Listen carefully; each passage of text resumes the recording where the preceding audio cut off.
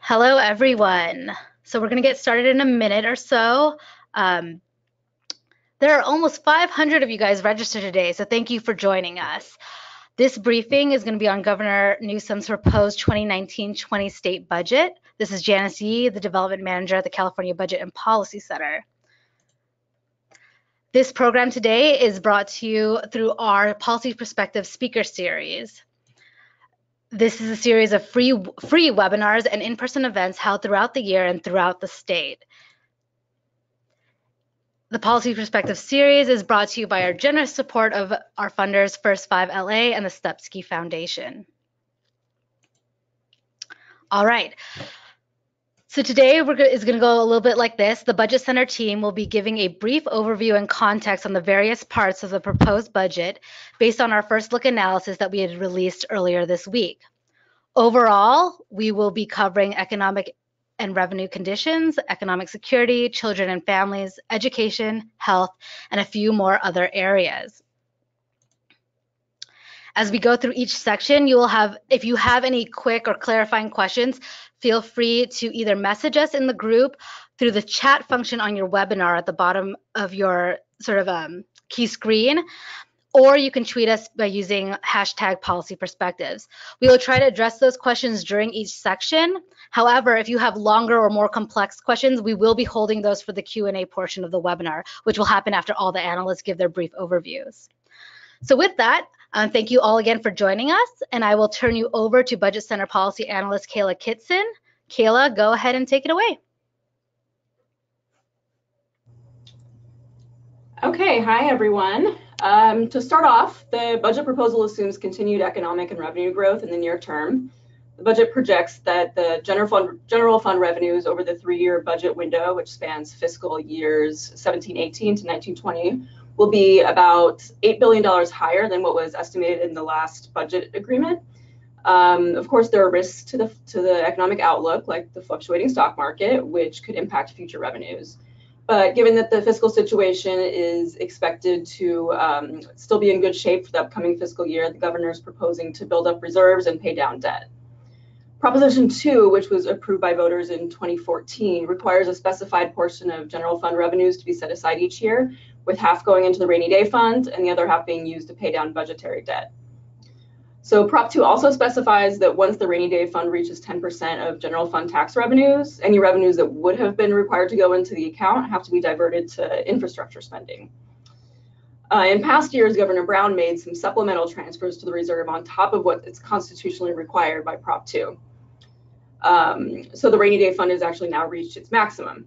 However, the governor's budget assumes that the, those supplemental payments uh, by Governor Brown don't count towards the 10% maximum. So the budget includes a $1.8 billion transfer to the rainy day fund instead of diverting any additional revenues to infrastructure. The proposal also includes a $700 million transfer to the safety net reserve that was created in last year's um, last June's budget agreement, which can support CalWORKs and Medi-Cal benefits during a future recession. The uh, 1.8 billion that's required by Prop 2 to pay down debts would be used to reduce unfunded liabilities in the state's retirement programs. That's CalSTRS and CalPERS. Uh, and of that 1.8 billion, 1.1 would be used for a supplemental payment to CalSTRS above what's constituted, uh, what's required by law annually. And the budget also proposes a $3 billion supplemental payment to CalPERS. And finally, the proposal includes a $4 billion to um, completely pay off budgetary debts that were incurred during the Great Recession and to reverse some payment deferrals made in, in past decades. And with that, I will hand it over to uh, analyst Alyssa Anderson. Okay, thanks, Kayla. Uh, and so just as a reminder, if you have any questions, you can go ahead and type them into the chat box um, or you can tweet us at hashtag policy perspectives. So I'm going to talk about the governor's CalEITC proposal. Uh, so in the governor's budget, he's proposing to significantly expand the CalEITC. Um, this is a refundable state tax credit that basically helps low earning workers and their families better make ends meet. Um, and the governor's proposal would do two main things. First, it would extend the credit to workers a little bit higher up the income scale, uh, people making up to about uh, $30,000 a year. Um, currently, families have to make under about $25,000 a year to qualify for the credit. Um, and the administration estimates that by extending the income limit a little bit higher, um, that about 400,000 tax filers, as well as their spouses and dependents, would become eligible for the credit. The second major thing that the governor's proposal uh, would do is increase the size of the CalEITC, specifically for workers with incomes at the higher end of the eligibility range. Um, these are people who currently receive relatively small credits, um, and they still have very low incomes, even though they're at the higher end of the eligibility range. Um, we're talking about folks making, you know, somewhere from like $14,000 to $30,000 a year. Um, the third major thing that the uh, governor is proposing is to provide an additional $500 per child uh, under age six to families who qualify for the CalEITC. Um, now, there's been some confusion about whether this is actually per five, actually $500 per young child or per family with young children. Um, the LAO was told that this proposal was per child, uh, but I want to note that the trailer bill language is not out yet, and so we'll have to wait for that um, to confirm whether it's really the administration's intention to provide this per child. Um, if it is, it would provide a very significant increase in the CalEITC for families with young children. Um, in addition to expanding the credit, the administration is proposing to explore how the state could provide workers um, with their CalEITC in monthly payments as opposed to an annual lump sum. Um, and the idea here is that a monthly payment would line up better with the monthly expenses that workers face. Um, we would argue that this should actually be optional because some workers um, really might need that refund right away. Um, also, this wasn't initially in our budget summary, um, but we just added it yesterday, and we got confirmation that the governor's proposal um, includes some funds for outreach. Specifically, the governor is proposing to provide $5 million as matching funds to community-based organizations and other entities um, to, that increase awareness of the CalEITC and of free tax prep services. Um, and that's important because the majority of people who qualify for the CalEITC pay to file their taxes. And so that means they don't get the, the, the full benefit of the credit. Um, finally, the governor is proposing to rename the CalEITC the Working Families Tax Credit. Um, and we've been getting some questions about whether this name only applies to the $500 provided to young children. Um, the proposal is actually to rename the entire credit, the CalEITC, the Working Families Tax Credit. Um, the administration estimates that if this expansion is approved, it would reduce state personal income tax revenues by about a billion dollars. And to offset this revenue loss, the administration proposes that California conform to several federal tax law changes from the Tax Cuts and Jobs Act of 2017. Um, and they expect that these changes would generate a billion dollars. Um, one thing to note is that this will require a two-thirds vote of the legislature since it will raise revenues. Um, and I want to point out that this aspect of the governor's proposal um, is still pretty vague. Um, the proposed budget just basically lists some potential areas where the state could conform to federal law without any detail. Um, it says that these changes will mainly impact business income. So this will be something to watch.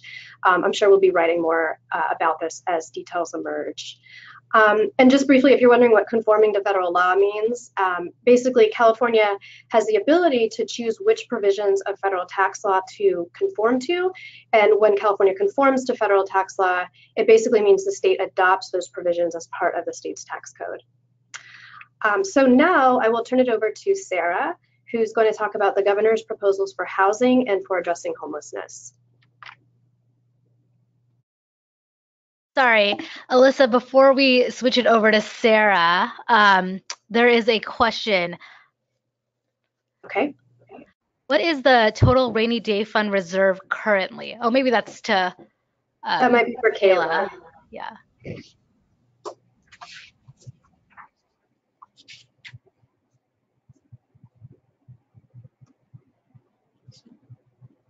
Hi, sorry, it took me a while to get set up.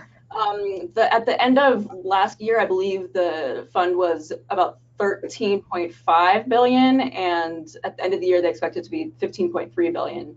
Um, I don't have the numbers in front of me right now, but that should be in the first look analysis. Thanks. Thanks, Kayla. Can we go ahead, um, Sarah?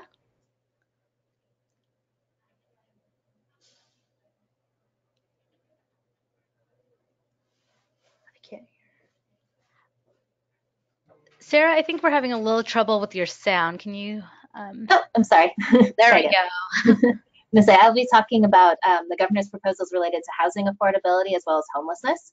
Um, and I want to start by saying it's just really refreshing to see such a strong focus on uh, the housing affordability crisis that is faced by California um, in this January budget proposal by the governor um, and in, in, several proposals related to a state level role in addressing the housing affordability crisis. This is something um, that we did not see uh, as much with uh, Governor Brown. So this is a, a, a new uh, a new attitude towards housing uh, we seem to be seeing in this January budget. Um, so the governor's budget proposal um, includes quite a bit of one-time funding, um, some ongoing funding, and some regulatory changes that are all intended to help address California's housing affordability problems that we have. Um, so for there is some significant one-time funding linked to housing production goals. So linked to um, ensuring that the state is producing the number of housing units that we uh, need to produce in order to uh, make sure that there is a place for that is affordable um, for all Californians to, uh, to, live in and for those who um, throughout the state. Um, so the one-time funding includes $250 million for planning for local jurisdictions planning to meet housing production goals as well as $500 million in um, incentive funding uh, for jurisdictions that are show that they're meeting their progress towards uh, achieving their housing production goals. Um, and those that that $750 million total um, in one-time funding is linked to um, a proposal to revamp the process that the state uses to allocate um, housing production goals to different regions and local jurisdictions, the regional housing needs allocation process uh, or RHNA process. Um, there were some um, significant reforms to that process uh, adopted by the legislature last year. Um, and so uh, it'll be interesting to see how those reforms interact with the proposal that the governor is putting forward here. Um, the governor also mentions uh, the consideration of linking transportation funding for local jurisdictions to um, meeting housing production goals. Um, there are not uh, specific details on exactly how that would work, but that's uh, definitely something that uh, that is in there and would be something to to watch uh, as the budget uh, season moves forward. Um, in addition to uh, th that funding related to housing production goals, there's also some um, one-time funding that's specifically for development of new housing. Um, $500 million allocated, proposed for production of um, moderate income housing, and that would be um, distributed through the Mixed Income Loan Fund at the California Housing Finance Agency. Um, and um, this reflects a, an interest in um, workforce housing or housing for moderate income households that we see throughout the, the governor's uh, proposal. Um, uh, so that's the one-time funding that's in the proposal. There's also a significant proposal for um, on, on, on an ongoing basis, expanding the funds that are um, available to support housing uh, production um, by expanding the, the state's housing tax credit program, the state's low income housing tax credit program or LIHTC uh, LIHTC program. Um, so there's a proposal to um, increase the, the LIHTC program by up to $500 million on an ongoing basis. Um, and um, increasing that, that uh, program has been an, a, a priority for housing advocates. So um, it's it's interesting to see that in here. Um, and the way the uh, governor proposes to allocate that funding specifically, or that sorry, that tax authority specifically is um, tax credit authority specifically is 300 million for the current uh, LIHTC program, um, paired with the federal credit that is currently underutilized, um, along with 200 million dollars for a new program um, which is described as um, targeting development of housing for households that make 60 to 80% of area median income, so more moderate income households. This would be uh, a new program uh, that is does not currently exist within the state's LIHTC program. Um, um, in addition to the funding, there's also some regulatory changes that the that are included in the budget proposal. Um, one is to allow um, to utilize excess state property um, for the development of housing. Um, so the idea would be that uh, property that state uh, owns that is appropriate for housing could be used um, as uh, to develop affordable housing.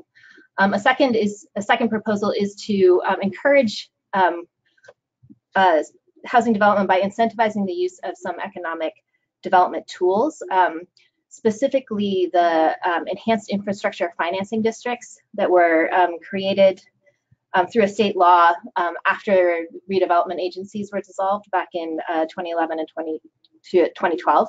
Um, and so these EIFDs are a tool that local jurisdictions can use to to finance infrastructure, including affordable housing, although not just limited to affordable housing.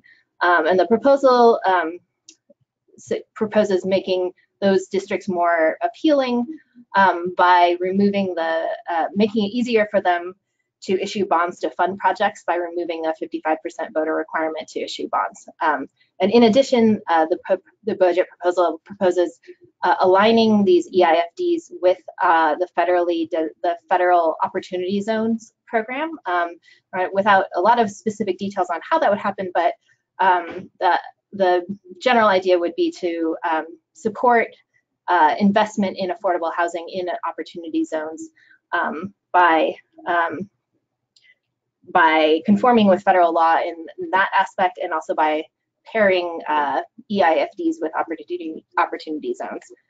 Um, so those are the proposals related to housing. Um, separate from the, the issue of, of uh, permanent housing, um, there also a significant part of the government's budget proposal is dedicated to the to the issue of homelessness. Um, and it is important to notice note that homelessness is a is a major problem in California. Um, the state has 25% of the national homeless population, and about two thirds of the those homeless individuals in our state are unsheltered, so living on the street or in a park or in a vehicle and those kinds of um, places. Um, and the governor's proposal very strongly focuses on that unsheltered homeless population, um, especially those in that population that have significant health or mental health or behavioral health needs. Um, so there's a combination of both funding uh, and regulatory changes proposed um, in terms of a state role to help address the, the homelessness crisis. So um, $500 million is proposed um, to increase the statewide capacity for um, emergency shelters and homeless navigation centers. Um, so this would be distributed in um, with $300 million for the that would be directly for development of emergency shelters and navigation centers, but would only be available to local jurisdictions that were participating in a regional planning effort to address homelessness. Um, and then there would be an additional $200 million available as kind of incentive funding um, for um, local jurisdictions that can show that they are making concrete progress towards the development of um, uh, shelters or navigation centers or permanent supportive housing that would support um, individuals who are homeless. Um, in addition, there are some specific proposals uh, related to helping individuals who are homeless address their um, health and mental health needs and increase their economic um, their uh, economic well-being. So there's $100 million proposed for the whole person care pilot programs. These are um, programs that um, are administered through the, uh, sorry, this is a program that's administered through the Department of, um, through the Department of, um, sorry, through the Department of Healthcare Services. Um, and it provides coordinated health and behavioral health and supportive services together with housing services to meet the needs of individuals who are homeless or at risk of homelessness. Often are the individuals targeted by these programs and try to address their needs in a holistic way, um, including through um, ensuring that they are housed. Um, and then in addition, there's a proposal to um, provide $25 million for the Housing and Disability Advocacy Program. And this is a program that helps homeless individuals apply for disability benefits, um, since among those who are um, have physical or mental disabilities, um, so that they can link them up to um, federal uh, benefits that will help them meet their needs. besides those funding proposals in the homelessness area, I will finish here by um, talking about the, some of the regulatory changes that are proposed. Um, the governor proposes um, making it easier for local jurisdictions to develop new um, homeless shelters and navigation centers by streamlining the environmental review process uh, for those types of projects. Um, and also proposes um, developing a statewide policy to increase the land available for development of shelters by allowing um, emergency shelters to be developed on state land that is uh, that is located within the Department of Transportation um, right of way, but highway right of way limits, but used for non-transportation purposes. This is called the Caltrans airspace. Um, and so this proposal would expand on a policy from last year that allowed for emergency shelters to be sited on this type of land in a few locations in California would expand it more broadly. Um, so um, that's the summary of the housing and homelessness proposals included in the in the budget. And I, now I will hand it over to Esi to talk about Actually, the public's program. Sorry, Sarah, um, we do have a question for you. Um, where do the funds for the expansion of the tax credits from the low income housing come from, i.e. the general fund or something else? Um, well, it's uh, so it's, because it's a housing tax credit. Uh, it's it actually what it does is it reduces uh, state uh, it it's, uh, reduces state uh, revenues. It's it's a it's a sorry it's a it so it's it would reduce general fund revenues essentially is how it works as as um, as, as opposed to having a specific designated uh, revenue source outside of that. Okay, thank you. Um, and you might not answer this, but maybe Scott might. But it, somebody had asked, is there any funds allocated for senior housing? There's uh, there's not funding specifically allocated for single for senior housing, um, but the um, so none of the funds that are allocated for housing development or to encourage housing um, production are specifically linked to housing for seniors, but certainly seniors might be among those who would be eligible to live in the low income or moderate income housing that is is proposed to be supported. Perfect. Okay, thank you so much. And then we can go ahead and Esi, can you take over?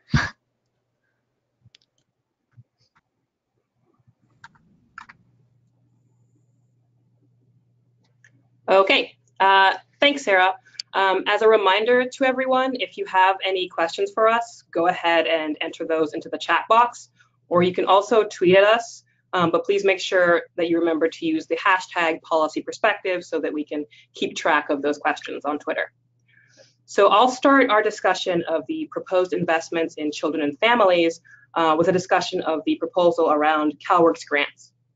So as you may know, uh, and as we've already covered in prior reports, currently uh, the annualized maximum aid payment for a family of three with no other income in the CalWORKs program leaves them living well below the deep poverty threshold, which is defined as 50% of the federal poverty line. And it has done so for 11 years. Now, this is concerning because, as we know and as the research shows, living in poverty for any period of time is detrimental for children. But deep poverty in particular lowers chances that a child will succeed at throughout all stages of the life course. So we were rather encouraged um, when in the 2018 uh, 19 budget package, we saw the proposal to raise the maximum grant uh, to the deep poverty threshold, albeit over three years, starting with uh, a 10% increase um, effective April this April 1st, 2019. Now, in his budget proposal, Governor Newsom proposes an additional 13%, 13.1% uh, increase to the grant, which would be effective October 1st, 2019. So this would bring the maximum grant directly to 50% of the federal poverty line, um, obviously much sooner than the earlier proposal of, of three years. And to do so, he allocates 347 or proposes allocating 347 million dollars uh, general fund for the 2019 uh, fiscal year with a full year cost of $455 million. The proposed budget also expands investments in infant and maternal well-being, particularly via home visiting services. So as you may recall, the 2018-19 budget package instituted a new home visiting initiative in the CalWORKs program. Now, initially, this program was proposed as a pilot. Uh, it's now permanent and ongoing and very much here to stay. Um, it started January 1st, um, and it provides up to 24 months of home visiting services for CalWORKs parents who uh, are parenting uh, pregnant or parenting a child under the age of two.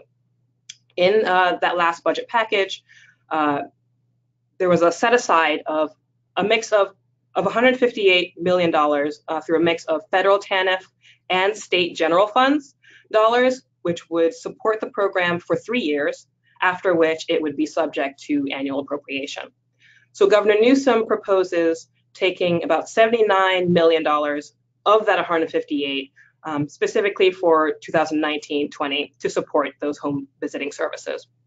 Uh, we also want to call attention uh, to his proposal for $23 million uh, general fund to expand home visiting outside of the CalWORKs program. So currently, there are home visiting pro um, programs administered through the Department of Public Health, um, but the Department of Public Health receives federal funds to administer these programs, not state funds. So this would actually uh, represent the first such state uh, financial investment in home visiting for non-CalWORKs CalWORKs parents. So we're uh, interested uh, in seeing how that um, develops. The governor also proposes uh, an investment of $7.5 million to increase participation in the Black Infant Health Program. Uh, this program is also administered through the Department of Public Health, uh, and its goal is to increase um, health for African African American mothers uh, and their infants, uh, and to also reduce um, existing racial disparities in health uh, that we see in our state. And then finally, uh, really quickly, before I hand things off to my colleague Kristen Schumacher, I want to briefly mention uh, the proposal around child savings accounts. Um, we do explore this um, more in our report, so please go ahead and read that uh, if you haven't already. Um, but the governor proposes a one-time investment of $50 uh, million general fund for pilot projects to increase access to uh, child savings accounts. Now, child savings accounts um, are asset building accounts for children. Um, in this proposal, um, it would be for specifically for incoming kindergartners. The proposal right now is still rather vague and hasn't been fleshed out, so we will be keeping our eye on that. Um, please do look out for uh, likely further um, reports from us on that proposal. Um, but that sort of ends my my section. Um, if there are, unless there are questions, um, Janice, I'm now ready to hand it over to Kristen. Take it away, Kristen. Hello, everyone. Kristen Schumacher here. Thanks for joining us today. I'm going to talk about paid family leave. I'm going to talk about our subsidized childcare and development system, and then I'm also going to talk about kindergarten and transitional kindergarten here in California. So the governor's proposed budget expresses a commitment to expand California's paid family leave program to six months.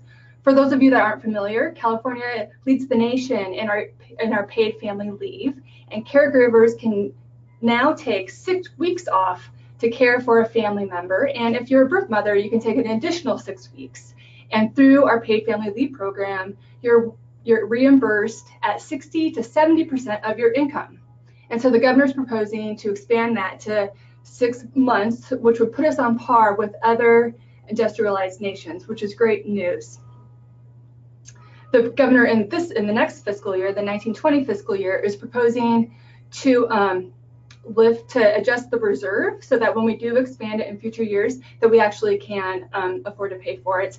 And the governor also proposes to convene a task force to study and think about how we can thoughtfully expand our paid leave program, especially um, for low income caregivers who may not currently be able to afford to take time off at 60 or 70% of their low earnings. So at this point, I'm going to talk about subsidized childcare and our subsidized childcare and development system. So as some of you may know, that includes childcare and our state preschool program. So the 1920 budget proposal includes a one-time 737 million general fund investment in childcare infrastructure. So infrastructure here refers to childcare facilities and workforce development within the childcare field. About two thirds or half a billion dollars of that is for facilities and then one third for workforce development. So the state already operates a number of childcare facilities funding programs, so it isn't clear how this proposed funding would interact with those programs or make them more efficient or um, more user-friendly for providers throughout the state. I do want to note that we know that there's tremendous unmet need for subsidized childcare in California. And this budget proposal, while investing 737 million in subsidized childcare, doesn't purposefully add one more additional space in subsidized childcare programs for families that are struggling right now to afford the high cost of care. In terms of our state preschool program, the administration has signaled the intent to move to universal preschool in California. So the governor proposes a couple of initial steps to move in this direction in the upcoming fiscal year. So first, the January proposal adds 10,000 full day, full year state preschool slots. That's with 125 million general fund to be used um, by non-LEAs in the community. The proposal also shifts 300 million in existing funds for the state preschool program out of Prop 98 and into the general fund, again, for state preschool programs to be provided by non-LEAs or non-local education agencies. So this is going to free up more funding for nonprofit providers to offer state preschool programs and also um, hopefully to simplify funding for these providers too.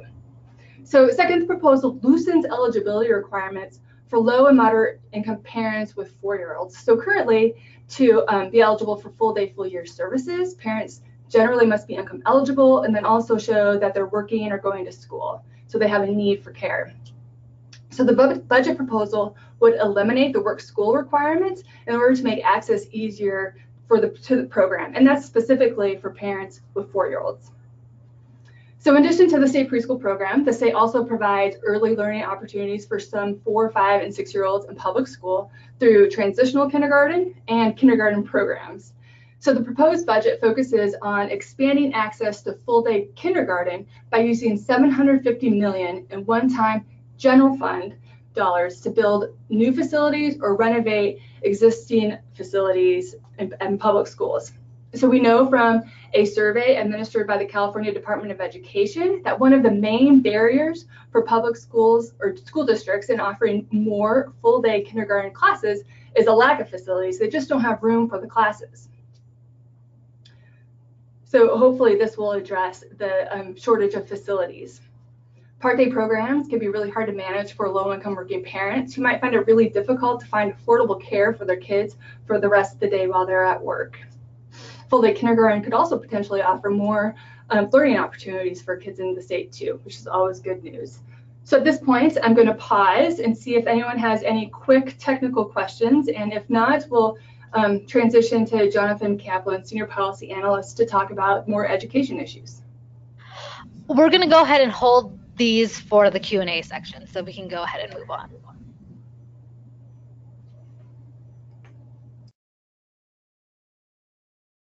Oh, thanks, Kristen. Um, so I'm going to be talking today about uh, K-12 education and higher education and the governor's proposals for both both of those areas. Um, the governor's proposal for K-12 schools and community colleges uh, fu funding reflects the estimates that Kayla referred to earlier of general fund revenues.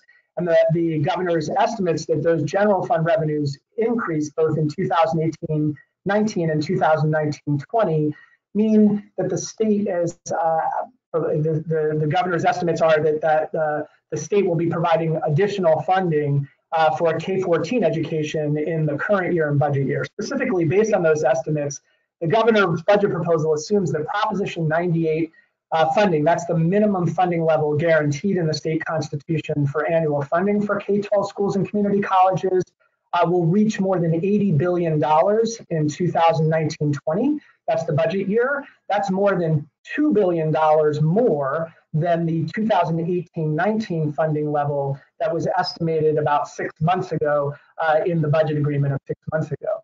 Um, so, the, however, this is true for all budget proposals.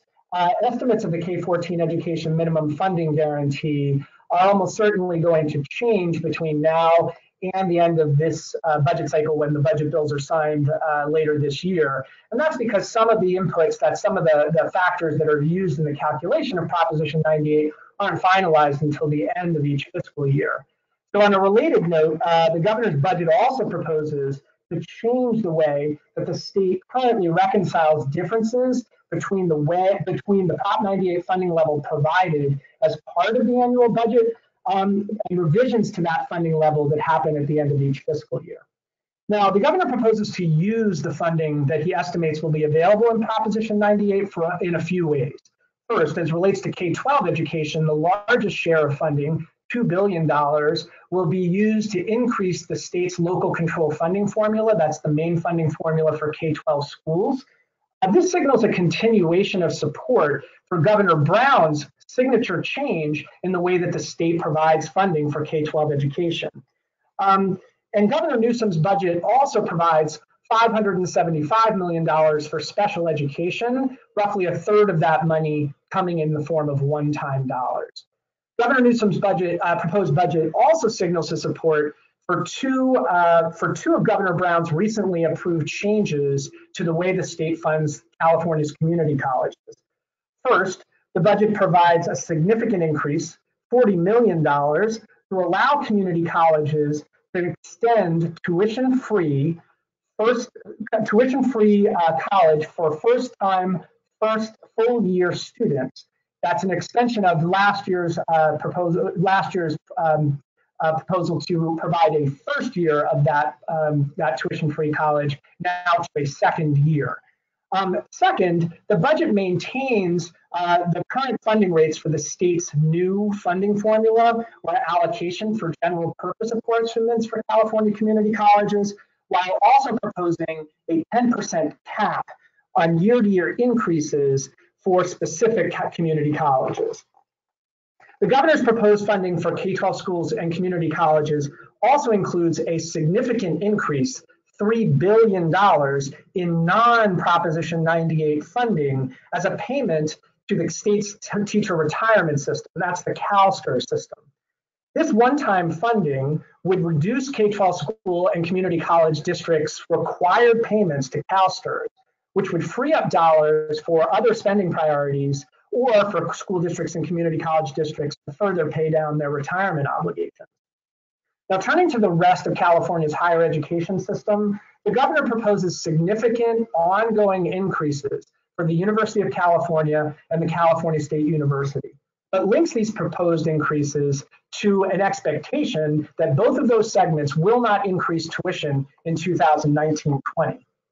The governor's proposal to increase ongoing funding by $300 million for the California State University and $240 million for the, for the University of California translates into roughly a 7% boost for each of those segments and includes specific items for which the increases are intended to support.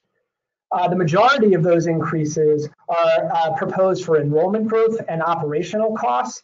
However, the budget also earmarks funding to support students who are experiencing um, who are experiencing food insecurity and homelessness.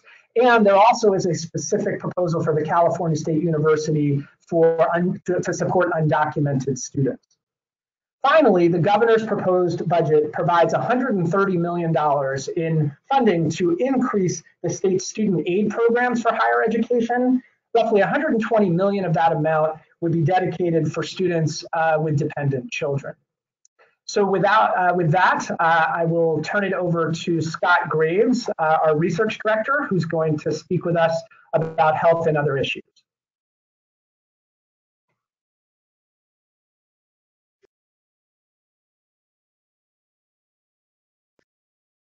Hi, thank you, Jonathan. So Hello to everybody on the webinar. I am going to be discussing some health policy issues in the governor's proposed budget.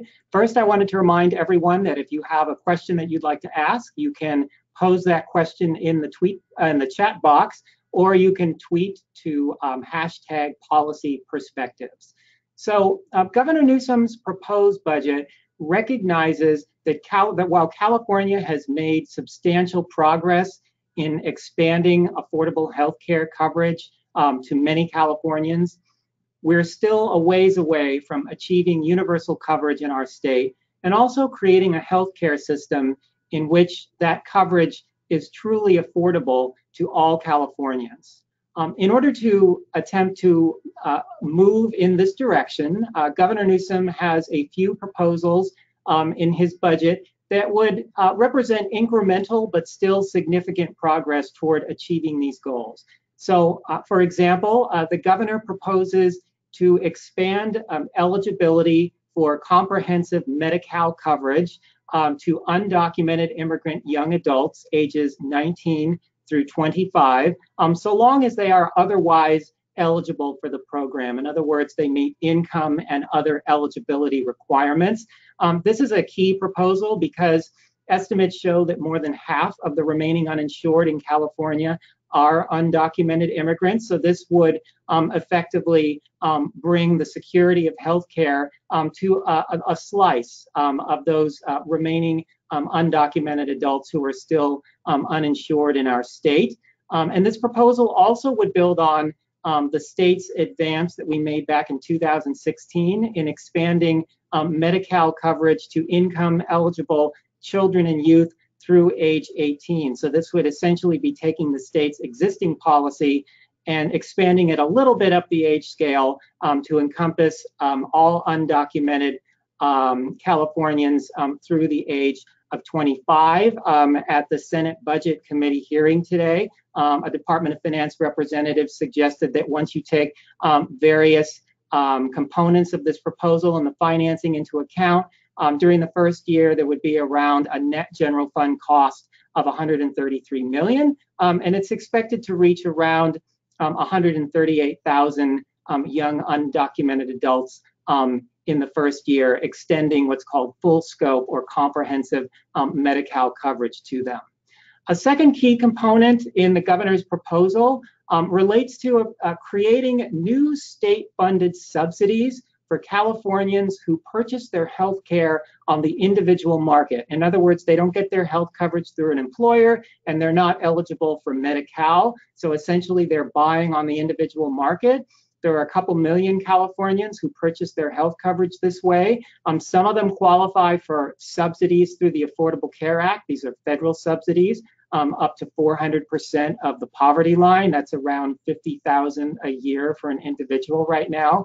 Um, Californians who are beyond 400% of the poverty line do not qualify for any federal subsidies. So the governor's proposal is to say, let's take that group that's above 250% of the poverty line, all the way up to 600% of the poverty line, which is around $75,000 a year for an individual, and provide some state subsidies in order to make um, insurance purchased on the individual market more affordable um, for these Californians. Um, by doing so, um, we would help to um, ensure that we keep more Californians in the healthcare market, which would help to improve the risk pool, as it's called, um, and bring down costs across the board in terms of premiums um, for all Californians. Um, the governor has not yet said how these state subsidies would be structured. Um, there's lots of different ways to do it. And in fact, um, Covered California, our state's healthcare exchange, has been working with a group of stakeholders who will be releasing a report in February that will provide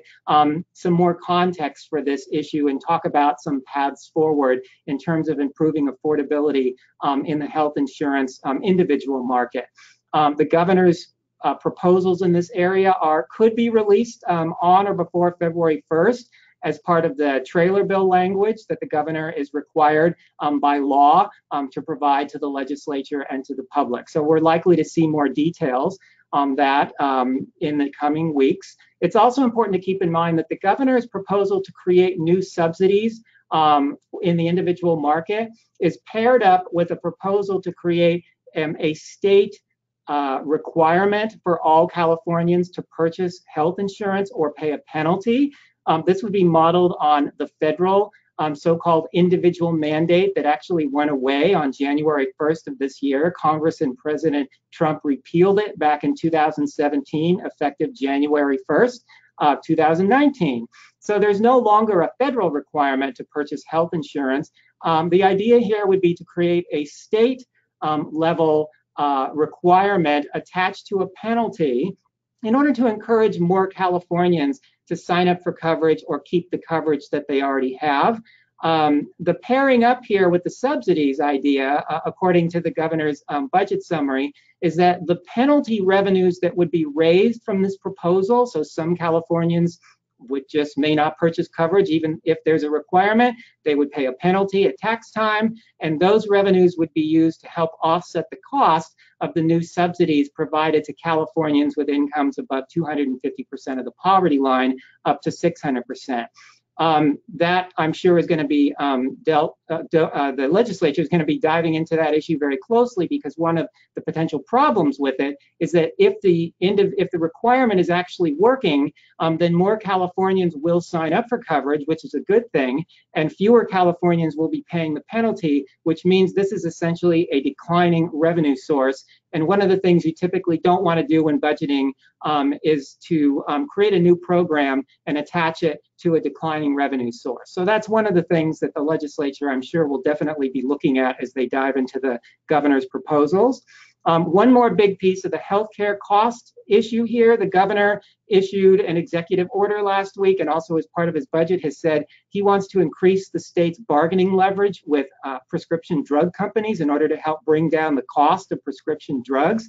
Um, that's a proposal that's probably um, a couple of years um, in the making, so that may not bear fruit um, until 2021 potentially, but at least um, the wheels are in motion, and the goal here is not just to increase the state's bargaining leverage, but potentially bring the private sector in as well. So those are sort of the big picture issues in terms of healthcare coverage and costs. Um, I also just wanted to note a couple of quick things um, related to mental health and Proposition 56 tobacco tax funding. Um, in terms of mental health, the governor is proposing some um, additional investments in the mental health arena. Uh, the total of around $175 million in the coming year. Um, a big portion of this funding would go to local governments to help support um, supportive housing for people who are homeless or at risk of homelessness, um, and uh, who are struggling with mental illness. Um, another component of this proposal um, would beef up the state's um, workforce development system for mental health practitioners to recognize the fact that we have a growing need um, for mental health um, experts, practitioners in California. So this would be an effort to get ahead of the curve there. And then in terms of Proposition 56, some of you may recall, um, this was uh, an initiative that was the voters approved a couple years ago that put a new $2 per pack of cigarettes tax. It's a new state tax on tobacco um, that raises um, well over a billion dollars per year, with most of those dollars going uh, to the Medi-Cal program. Um, as in prior years, most of these dollars in the governor's proposed budget would go to um, provider rate increases for doctors, dentists, um, and other providers in the Medi-Cal program. But the governor also includes some new proposals for Prop 56 dollars in his proposed budget. Um, for example, he wants to use around a total of 100 million dollars to support family planning services in Medi-Cal, um, as well as um, trauma screenings for both children and adults in the Medi-Cal program, and also um, early developmental screenings um, for children, again, those enrolled in Medi-Cal. So um, I will stop there and pause to see if there are any clarifying questions. We're gonna go ahead and hold them for Q&A, so go ahead, Scott. Okay, so I will then, thank you. I will then go ahead and turn it over to Chris Hoene, our Executive Director. Chris? Hi, everyone. Uh, good afternoon, and thanks for being with us here today. So I'm going to cover various other proposals that are in the governor's budget. Uh, I'm going to start in the criminal justice arena with a with the corrections and juvenile justice services. Uh, so uh, in the corrections arena where we have 127,000 adults in California who are serving sentences for felonies. Uh, the spending level remains the same as it did in uh, the prior year, so at about $12.5 billion. Uh, but the governor does have a proposal where he anticipates ending the use of out-of-state facilities uh, to house overcrowding um, and we have about 2,000 people in the state who are currently housed in facilities in Arizona. He proposes to end the use of out-of-state facilities by uh, June of 2019. The plan had been for that to happen in January, so this gives the state a little more time uh, uh, over the next few months to, to move folks back into California facilities. Uh, in the juvenile justice arena, there's a significant proposal to move uh, the the, ju uh, student the, the youth that are housed in state facilities um, from the Department of Corrections over to the Department of Health and Human Services. We have about 760 youth who are currently in the juvenile justice facilities, and the intention of the proposal is to ensure that the youth who uh, have been involved uh, um, with the system in some way, that they're receiving some services through the Department of Health and Human Services that would help them be more successful uh, when they're when they're released. Uh, and there'll be more details to follow on what that means in the coming months. Uh, there are also significant proposals in the governor's budget around immigration.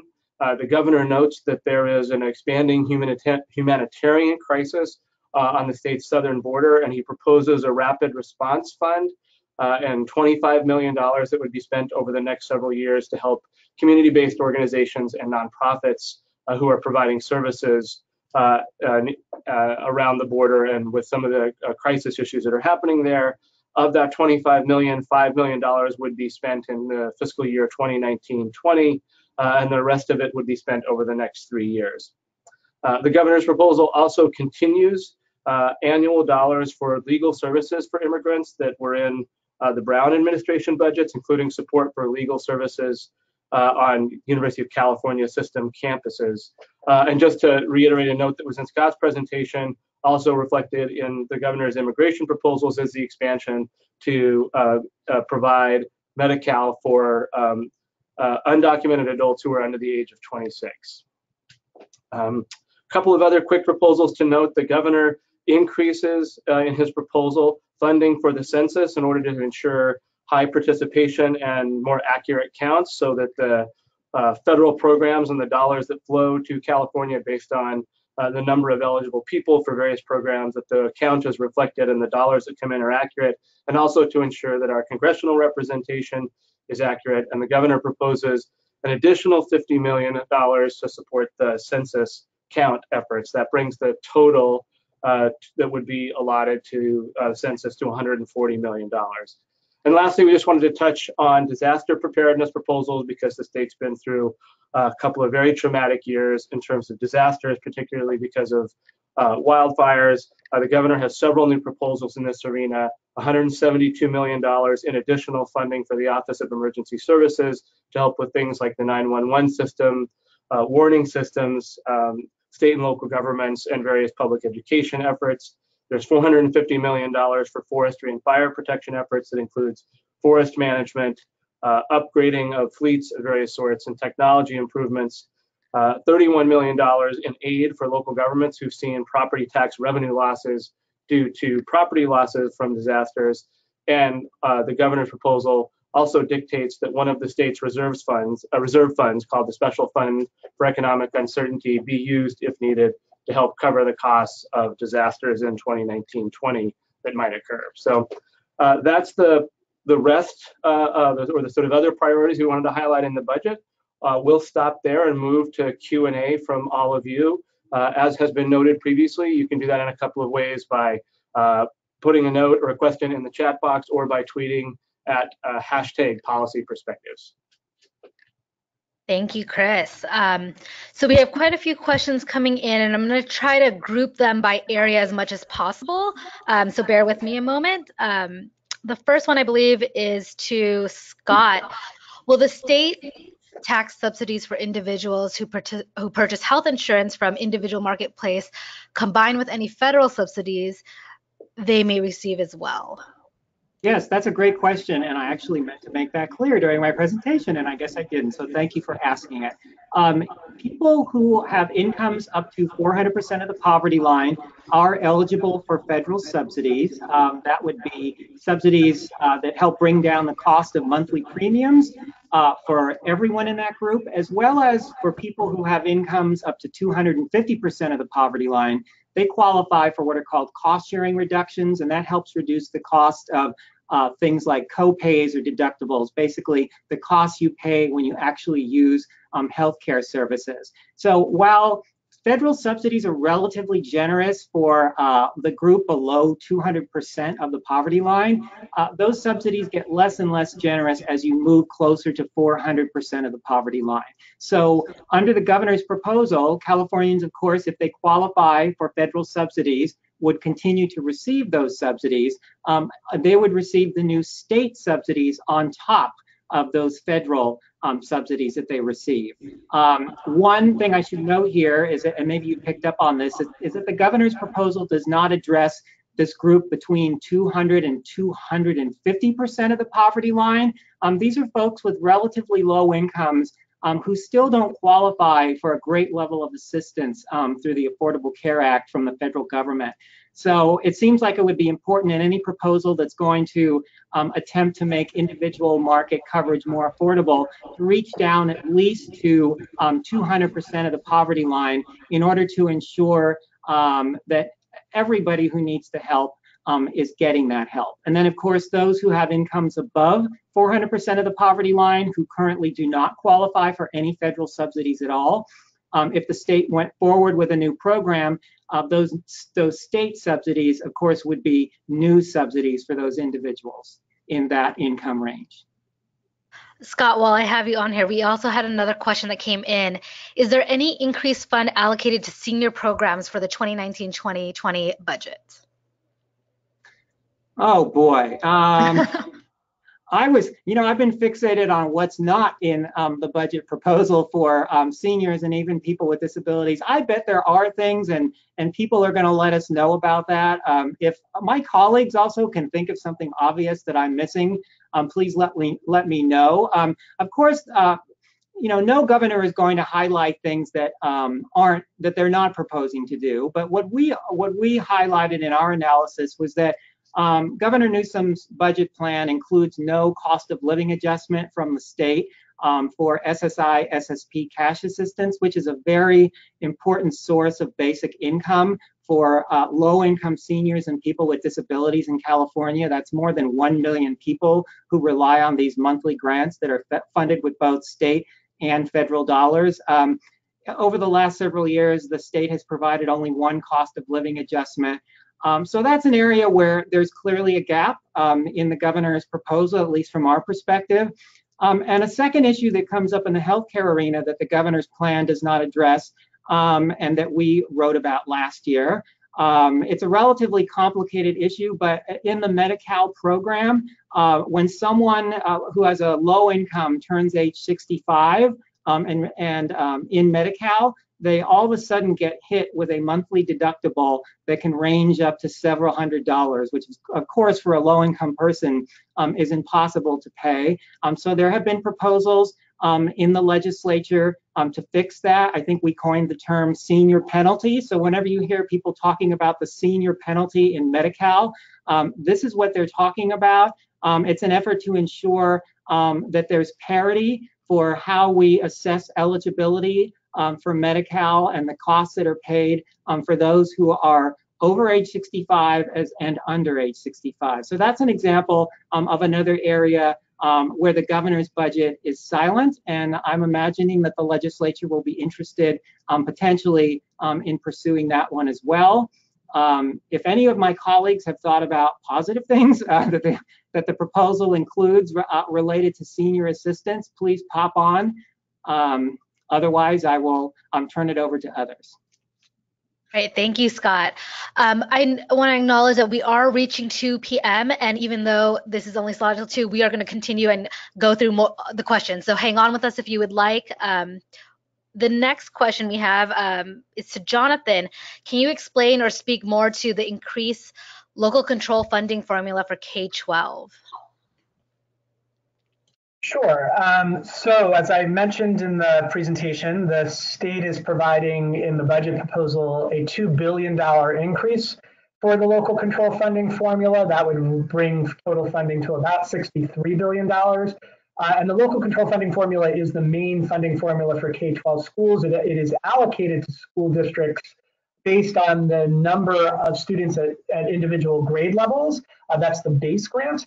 And then uh, from there, it is uh, there's a supplemental grant of 20% on top of that base grant for uh, students who are either English learners, uh, students who come from low-income families, or foster youth. And then if a school district has more than 55% of that population, then they get an additional 50% uh, concentration grant. So the $2 billion would be allocated to school districts across the state based on that formula. Um, and it gives uh, that then up, it's up to the school district to decide how those dollars are spent.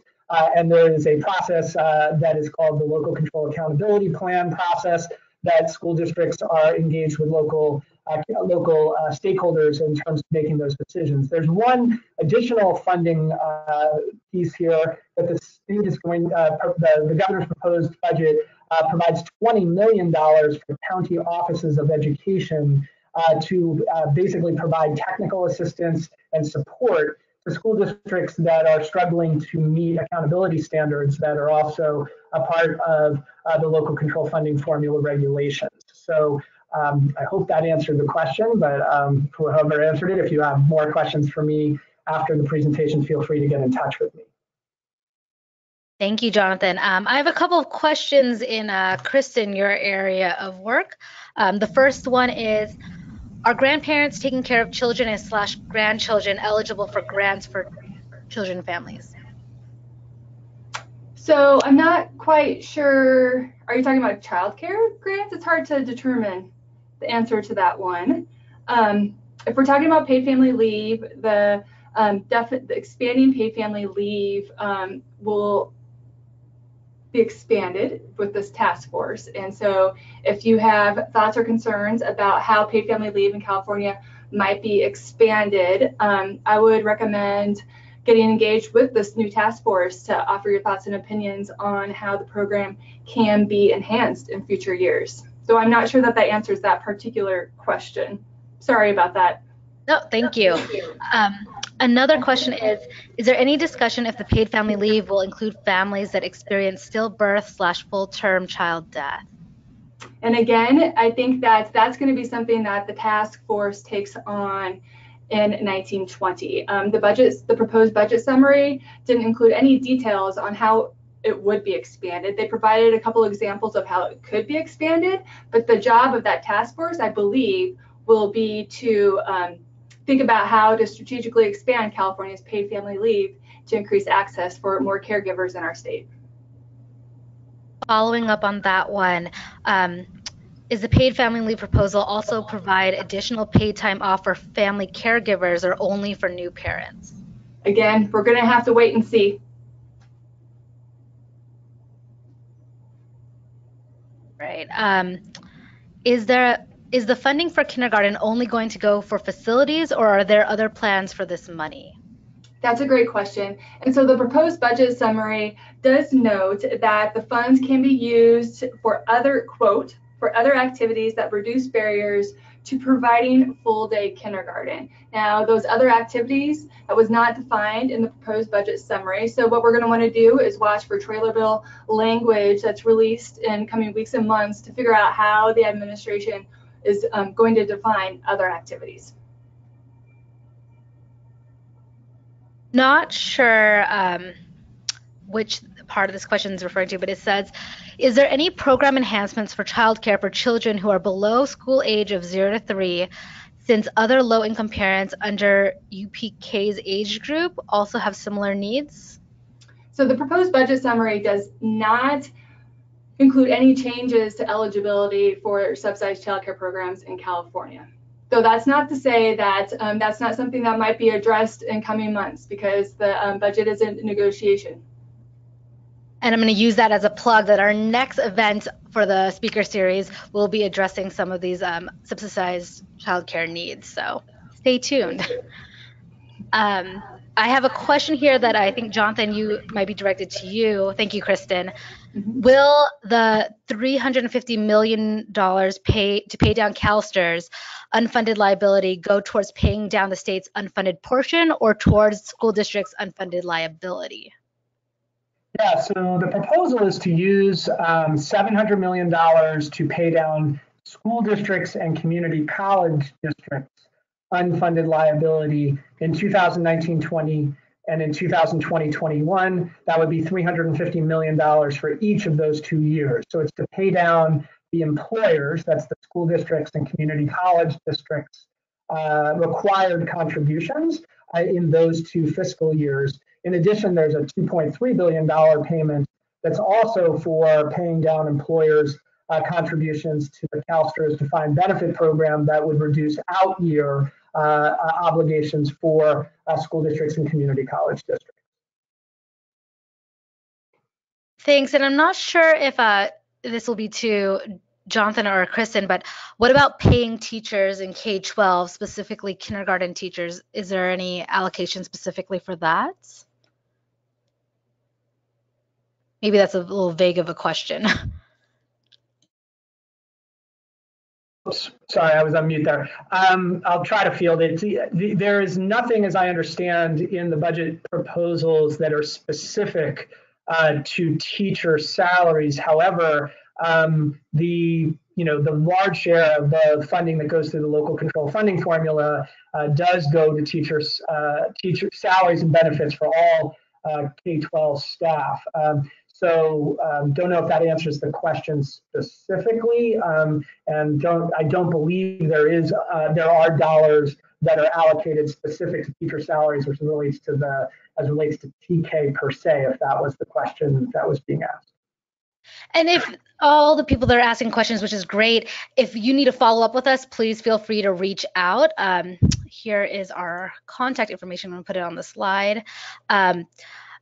We have one more question and then we're going to go ahead and end the webinar, but feel free again to reach out to us. This one is going to Sarah, I believe. is there any funding allocated or mentioned to addressing family homelessness, particularly for young children? Thanks. Um, you know, something that's sort of striking about the proposal uh, related to homelessness in this um, in this budget is that it really focuses really strongly on unsheltered homeless uh, individuals. It doesn't explicitly say it's focused on chronic uh, single, chronically homeless single adults, but that really seems to be kind of the, the core uh, population that is really in terms of the programs that are proposed and the funding that's proposed. Um, so there's definitely, there's no specific mention of any programs that would directly serve um, homeless families with children or homeless children. Um, I guess the one thing I will say though is that um, for a lot of homeless families with children, uh, the key issue really is housing affordability. Um, and so that's where you can look to some of the proposals related to increasing the production of housing um, and low income housing in particular um, that would that could ultimately help meet the needs of families that are really struggling to afford housing costs. But that said, um, there's nothing really specific in the budget that specifically focuses on the, the urgent needs right now of families with children who are homeless. Thank you, Sarah.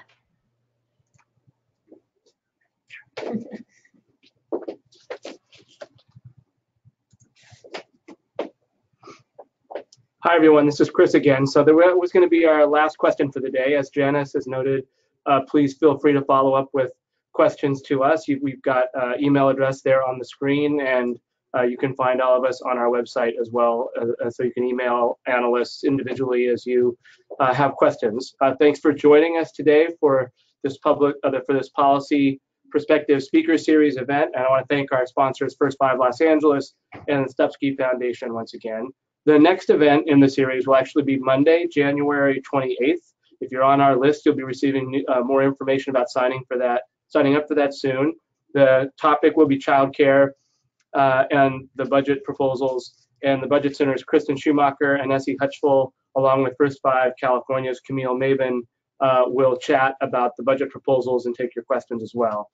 Uh, I also hope that you'll sign up to attend our annual policy conference, Policy Insights 2019, will be held on March 27th in Sacramento. Uh, the link is in the chat. You can also find more on our website. And if you're on our list, we'll be letting you know uh, how to register for the conference as well. And we hope to see you here in Sacramento in just a couple of months. So thanks everyone for joining once again. Feel free to ask us questions and uh, otherwise have a great rest of your day.